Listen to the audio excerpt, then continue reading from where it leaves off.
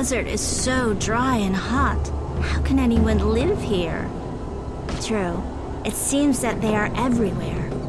I thought at first that the elves were the greatest race on the mainland, but now I'm not so sure.